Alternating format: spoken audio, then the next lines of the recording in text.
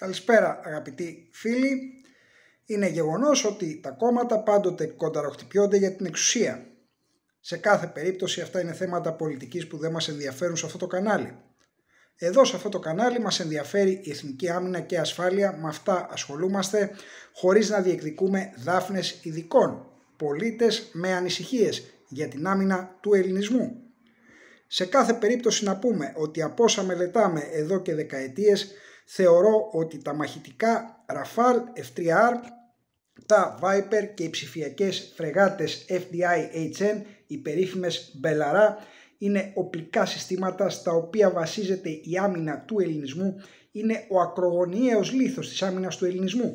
Δεν λέω της Ελλάδος, γιατί αφορούν την άμυνα του ελληνισμού, των δύο ελληνικών κρατών.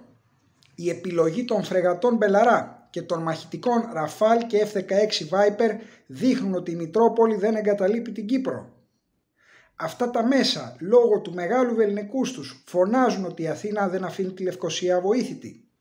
Αποτελούν στρατηγικά όπλα στα χέρια των επιτελών μας και της εκάστοτε ελληνικής κυβερνήσεως για να διασφαλίσει ότι η αναθεωρητική δύναμη που βρίσκεται εξ Ανατολών δεν θα αποτολμήσει να υλοποιήσει τα επεκτατικά της σχέδια όσον αφορά την Ελλάδα σχέδια που ήδη προσπαθεί να φέρει εις πέρα σε άλλα γειτονικά της κράτη εφόσον κατέχει εδάφη στη Συρία, στην Λιβύη με στρατιωτικές βάσεις και χιλιάδες Σύρους μισθοφόρους φανατικούς. Εξυπηρετώντας τα σχέδια του παντουρκισμού έχει συμβάλει στην εκδίωξη των Αρμενίων από εδάφη του Καυκάσου στο Αρτσάχ αλλά και προωθεί τα παντουρκικά σχέδια σε ολόκληρη τη λεκάνη της Ανατολικής Μεσογείου, την Ελληνική Χερσόνησο ή Βαλκανική, αλλά και την Κεντρική Ασία, τον Κάφκασο, ακόμα και στη Χερσόνησο της Κρυμαίας, πανάρχια ελληνική περιοχή. Σε κάθε περίπτωση λοιπόν τα οπλικά αυτά συστήματα, τα μέσα αυτά, τα στρατηγικά όπλα της Ελλάδας όπως είναι οι φρεγάτες και τα μαχητικά θεωρώ ότι δεν αποτελούν πρόσφορο έδαφος για να κάνει κανείς πολιτική είτε υπέρ της κυβέρνησης είτε εναντίον αυτής. Τα έχουν διαλέξει οι επαγγελματίες, οι επιτελείς μας που συγκαταλέγονται προσωπική άποψη ότι είναι η καλύτερη του κόσμου, άποψη αντικειμενικώς αποδεκτή από όλους ότι συγκαταλέγονται τους καλύτερους του κόσμου, είναι ειδικοί, ξέρουν τη δουλειά τους και τα έχουν διαλέξει εκείνοι. Έτσι λοιπόν θεωρώ ότι δεν αποτελούν πρόσφορο έδαφος για πολιτική συζήτηση. Σε κάθε περίπτωση χωρίς να χρωστάμε καλή κουβέντα σε κανέναν, η Dassault Aviation παρέδιδε ένα-ένα τα Rafale κάθε μήνα, είχαμε την τιμή να σας τα παρουσιάζουμε εδώ από το κανάλι, ενώ η Naval Group στη φωλιά της, στο Lorient, προχωρεί με υποδειγματικές διαδικασίες την ναυπήγηση των δύο πρώτων φρεγατών FTI-HN. Αυτές μάλιστα θα παραδοθούν το 2025 σύμφωνα με το χρονοδιάγραμμα ενδεχομένως να δούμε την πρώτη ακόμα και τέλη του 2024 λόγω του γρήγορου ρυθμού με τον οποίο εργάζονται οι Γάλλοι.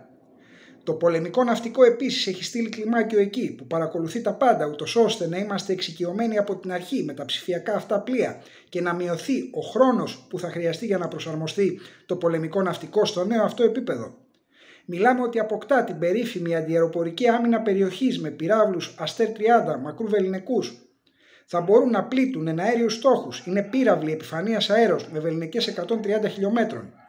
Διαθέτουν ραντάρ που θα μπορούν να ελέγχουν.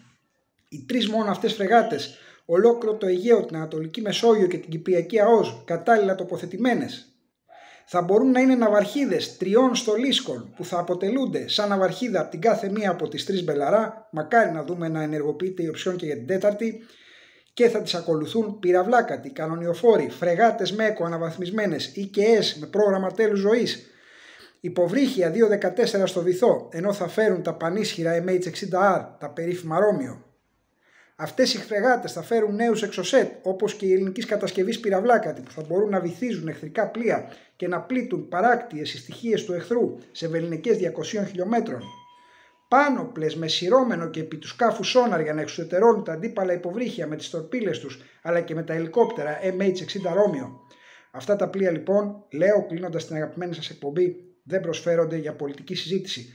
Μην ξεχνάτε να κάνετε like και εγγραφή στο αγαπημένο σας μέσο Καλή συνέχεια σε όλους.